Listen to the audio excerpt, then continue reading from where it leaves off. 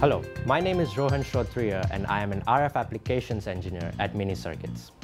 In this video, I'll be talking about reflectionless filters and their use cases. It is well known that SNR and dynamic range are very important in signal chains. This is especially true for ADCs, radars, transceivers, and sensing applications. And the way to enhance the performance of such signal chains is to reduce harmonics and spurious content. This is commonly done using the out-of-band reflective property of filters. Reflective filters are intentionally designed to have poor impedance match in stop bands. This causes the undesired reflected signals, including harmonics in stop bands, noise, to reflect back into the signal chain. The result is a standing wave in the chain, which in turn may cause gain compression, oscillations, and decreased stability.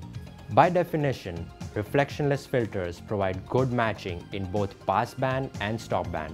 They are designed to absorb the unwanted signals rather than reflect them back into the chain. They can eliminate standing waves without the use of attenuation pads. One such example, which is very common in real world, is a multiplier chain. In this specific case, the goal is to stabilize conversion efficiency over frequency. It was observed that using reflective filters in multiplier chains causes an undesired effect where out-of-band harmonics are reflected back into the multiplier. This leads to the multiplier showing ripples in conversion loss and becomes susceptible to external factors. This is more noticeable the longer this multiplier chain gets. We experimented with some reflectionless filters in the multiplier chains and found out that absorbing the out-of-band harmonics leads to improvement in conversion efficiency of the multiplier. The results show this comparison with different input power levels and different electrical lengths between a multiplier and a filter.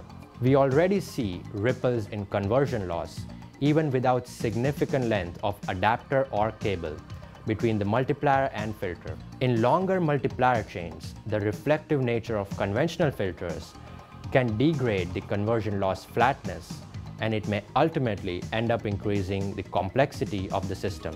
In comparison, a well-known combination of multiplier with reflectionless filter can achieve better conversion loss efficiency while minimizing cost.